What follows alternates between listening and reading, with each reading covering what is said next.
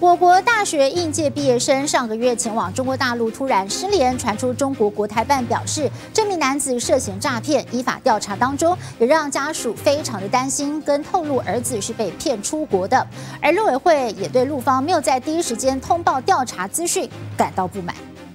照片然后就不见了，我们会担心他是不是这样子失踪，至少知道他人还在。声泪俱下，因为担忧了整整快一个月，自家儿子前往中国突然失联。中国国台办二十三号更表示，他在中国涉嫌诈骗，被拘留调查。就是有朋友邀他一起去，结果他朋友没去，就只有他去。大陆的行程讲的包装的很好，我儿子有跟朋友透露，就是在台湾讲的跟去到那边做的东西是不一样。原来失联的郭姓男子是位大学应届毕业生，疑似遭人蛇集团利用高额工资引诱到国外，家人越说越不舍，哽咽啜泣。他本身他有工作，认识他的人都知道，其实他是一个很单纯，是一个蛮孝顺的小孩。然后大学的时候自己。半工半读，他为了不增加我的负担，他是一个很孝顺的小孩，其实他不可能是做那一些像类似诈骗。面对中国执法调查，家属难掩无奈，只是中国拘留人一个月却无消无息，让陆委会相当不满。太久了哈，这一个月应该主动跟我们通报，不要让他的家属如此的焦急，一直到我们整体社会开始关注。